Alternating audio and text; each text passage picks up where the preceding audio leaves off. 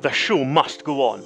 Welcome to the Scottish edition of Wince. Um, Alyn is ill, so uh, I'm filling in for him this month, and I hope he gets better soon.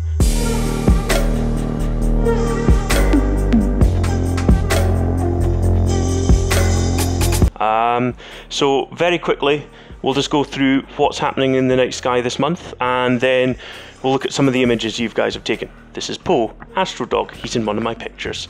Um, so this month we have two meteor showers, the Draconids, which won't be that strong a show. I think you're expected maybe 10 meteors an hour, but it's still you know worth looking out for. That is on the 8th of October. Then on the 21st and 22nd of October, we have the Orionids Meteor Show. That should be a far more exciting show because um, it's about 25 meteors an hour, which is still not, oh wow, but it's still worth looking out for.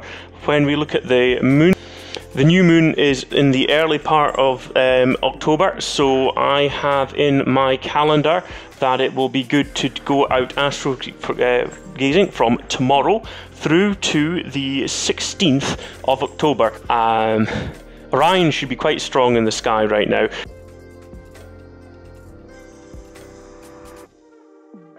The Milky Way will be quite dull. I know you Southerners get very excited about the Milky Way.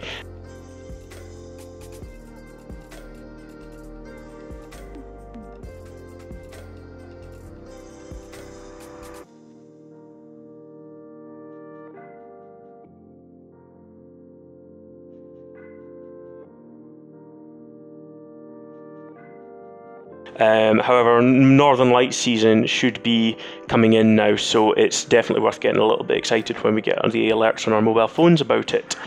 Um, so I think that's it for what's happening this month. When we look at the Wince tag, um, we're just going to do this live because it's more exciting that way. Um, so um, I've kind of just loaded up all the wince tags. I haven't really looked through them because I thought this might be quite fun to do live. Um, we've got this stunning wee time lapse from uh, One Eyed Llama um, in Tromso. So um, yeah, um, one thing I actually like the most about it is this cloud just sort of appearing and disappearing out of nowhere. It's, it's really quite wonderful. Um, we have Ainsley Bennett wandering through a field full of poppies in that sort of lovely textured way that he can produce. Um, and uh, we always wonder what he's doing there with all the, some, some images there. Um, I don't know what this is. Is this um, iridium? It's right down in the middle. It's very bright. It's moving. So I'm going to say iridium flare, but um, I'm I'm I'm not 100% sure. It certainly it doesn't look like a meteor. It's it's a it's actually quite a funny thing to see in the sky. He's got another another satellite I think coming over here too, but it's certainly very evocative. It's very nice. Um, I think we are in that's just stunning. Um, and he's just got his thumbnail right in the perfect time as well. I mean, that's that's a solid effort.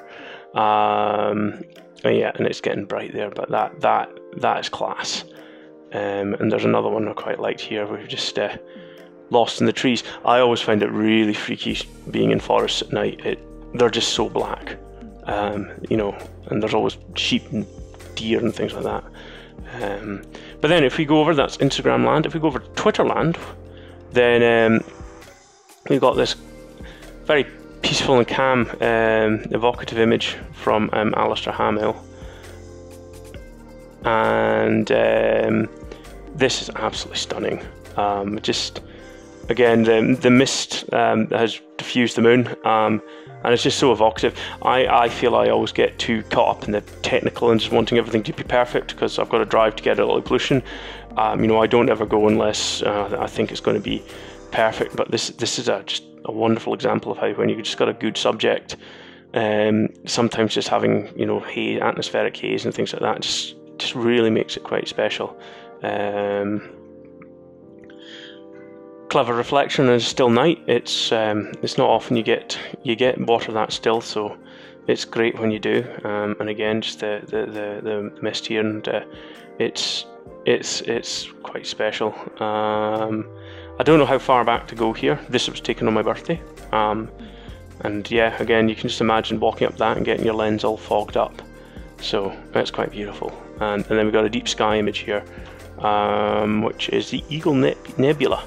And I know absolutely nothing about deep sky photography. Um, I want to try it, and I'm always scared it's just gonna gonna go and spend all my money on it.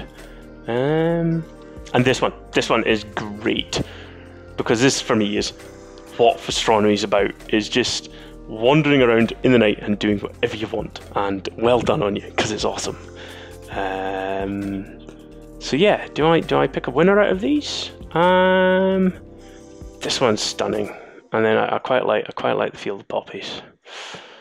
But I think I think I think we're going to go with um, uh, oh right uh, we're going to go with this, which is Ronnie Lorenzo. Congratulations, you're this month's Wince winner. Get in touch with Alyn Wallace for your generous cash prize.